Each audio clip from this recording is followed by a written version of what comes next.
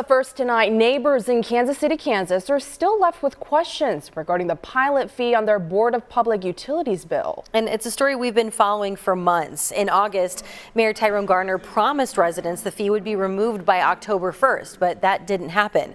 A board member with the BPU says there's been a lack of communication and the deadline to remove the fee was unrealistic.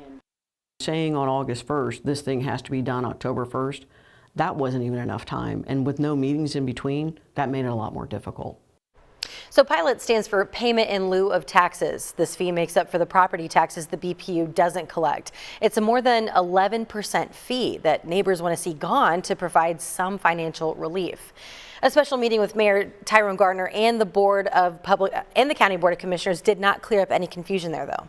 So today, KSHB 41 News reporter Rachel Henderson followed up with Mayor Garner, working to get answers for residents. I've been trying to talk to Mayor Tyrone Garner for three days. He wanted to wait until after Thursday night's special session, but that meeting didn't provide much clarity. I just wanted to first ask why we can't do this in person. We're downstairs, happy to talk, think it might be good for people to see. Uh, yeah, I, I, I, prefer this if you don't mind. So, is the pilot fee coming off still a realistic outcome? What can people expect going forward? You know, after last night, um, I can say I, I don't know. Did you or did you not receive a letter from Bill Johnson on September 13th saying that the October 1st deadline was unrealistic?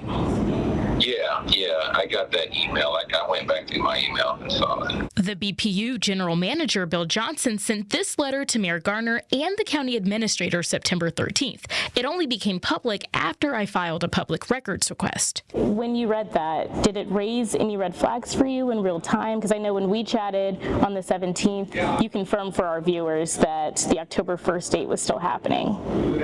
Yeah, as far as I knew it was. Um, you know, you got to remember I rely on our administrator and our staff at the unified government to advise me. Coming up at 6, I have even more questions for the mayor. What were you apologizing for? Will this lead to firings of any sort? In Kansas City, Kansas, I'm Rachel Henderson, KSHB 41 News.